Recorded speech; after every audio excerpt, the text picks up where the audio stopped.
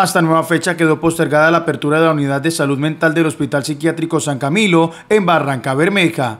A través de un comunicado del Centro Clínico Mental, argumenta que la situación se presenta por los hechos de orden público en la capital del departamento y el distrito en el marco del paro nacional.